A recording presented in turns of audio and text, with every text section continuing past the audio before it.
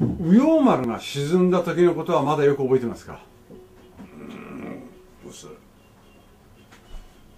くらか覚えてんなきっとつまりどこらにいた状態で魚雷食らったつまり戦争下に戦争はもう後ろの方だったからね三番戦争まあ日中ですよね日中で早い人はもう召し上げやっぱそうなんだから、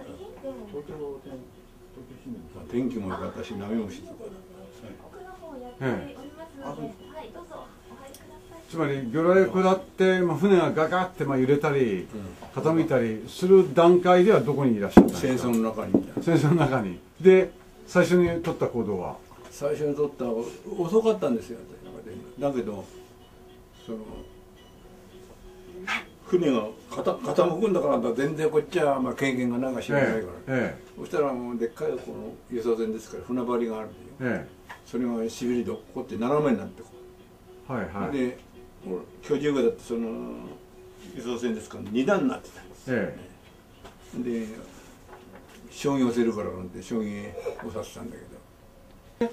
魚雷食らってその退避退避とかいう命令は出ないんですか？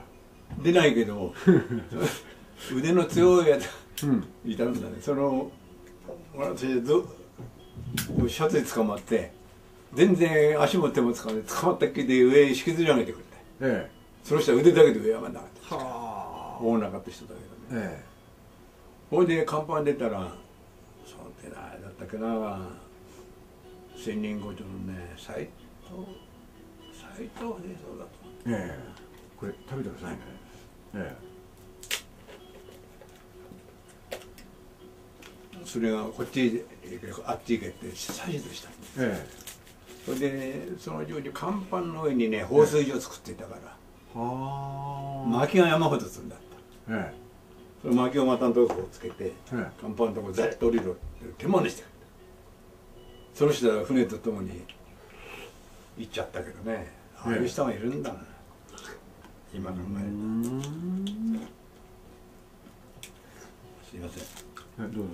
じゃあその救命ボート風なものは積んでないんですか？その船は。これダイハツ積んだ。ったダイハツ八隻積んで下ろせない。それでもガソリン入ってねあでも浮かぶだけでも浮かぶダイハツが何艘か浮かんだんだけどロップでこう縛った。それは船の脇にこう縛ってあって。いや井桁に積んだったんですよ甲に。板横に積んでええ。縦に。全甲板と後甲板の方に8隻。甲板上にあるんです甲板じゃあでもでロップ切ってなかった。間違って切れたやつが助かった。だから2度目行く時にはもうそれにまさかり持っての立番があったんですよ。いざす時にはロップ切るよそれでエンジンもガソリン入れて。でもその右陽丸の段階では何ダイハツは一緒に沈んじゃう。そうそう空っぽだから。えそれで浮いたやつも何隻かあるんですよ。あその後。うん、それだけどガソリンが軽油が入っあの石油が入ってねえから。でもはい。入ってなくたって乗り乗り込めればいいじゃそうんなるほどだからその副長なんかうまく全甲板の上にいるから偉い人は。じゃあ竹内さんはどうやって助かるんですか何人捕まったんですか？おなんかこうドボンと落っこったら。うん。ちょうどねこういうでっかい角材がね何本最初梅干しの秋だたるい捕まったんだけどうん。それでそういう角がしてそれでまた運がいいんですよね。強いやつがいてね、ええ。その服抜いなんて服抜いてそれでその角をこうみんなほら資材積んでったからうん。甲板の上、それがべったり流れてたから。えそれをその人は服脱いなんでで縛って食いったま捕まえてその上に乗せてくると波静かった。一番早く救助されたかえあそうですか。らキャッチャーボートみたいなの砲撃船みたいなやつ。それは佐伯航空隊から来たものですか？そうそうそうじゃあ佐伯の岬か岬か陸からはもう見えるような位置に。そうそう島影が見えなくなったばっかり、ええだから沈むと同時にもう低空で最近の航空隊の飛行機が低空で海すれすれにこうあええ。あ助かるなと思ってて。はいはいはい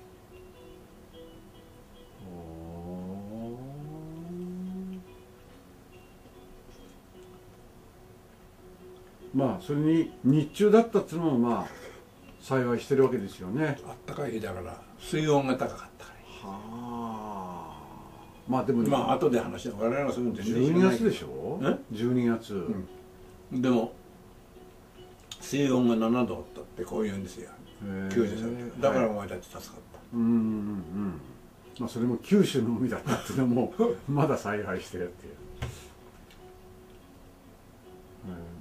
竹内さんちなみに若い頃泳げたわけですか？そうそう。とっくりだけどね。えだから泳いでる人の助かんないんですよ。疲れちゃうかえまああっち行けはいはいこっち行け。はいはい。はい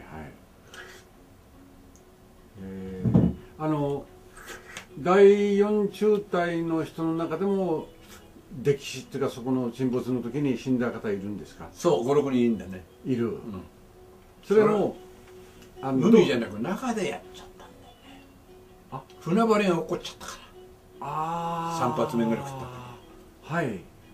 らだから。上がれなくなっちゃっはいはいはい。たなんか運ですよね。うーん。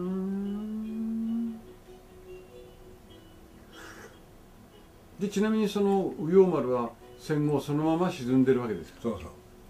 引き上げてもいないし、そこは深いんですか？あの佐伯の沖合っていうのは。深いんだろうねきっと。あそう。間違ってたら竹内さんも今最強金に眠ってるわけですね。そうだね。はあ。そして的にはその先ほど言ったキャッチャーボート風なボートがこれは何隻もじゃあ佐伯からやってる。何隻もないな2隻ぐらいじゃないかな他の球場。何人くらい乗れるんですかそれ。何年の間かなもう乗った時を少なくて俺は分かんないや。機関売すぐ行っちゃったから。だけどあのだって右陽丸自体にはやっぱし、まあ、1000人近く乗ってるわけじゃないですか。で死亡したのが200人とされる、うん。とまあ800人くらい残ってる、でそれをこう丘に上げるにはそうん。何結構億するの球場では何回も来たんだろうね。遅いのだって4時過ぎに救助された人いるあそうですか、最近の航空隊上がったんだからね。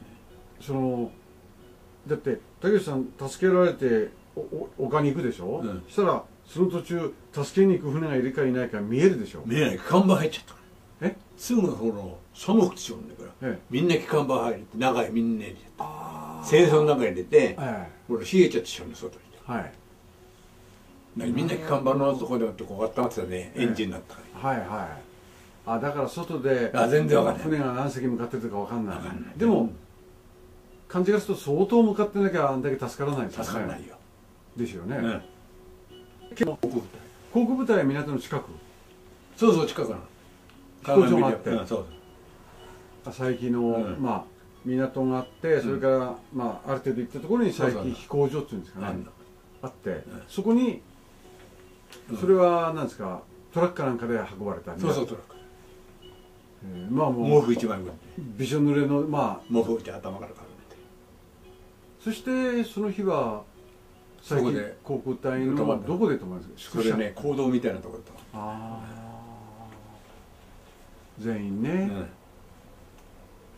ん寒かっただけど。じゃあその行動で初めてちゃんとした天候を取ったりするんですかね。そうつまりいないやつは誰だみたいな話は、だけどそれ極秘だからもう本当に誰が誰だか分かんないんだよ。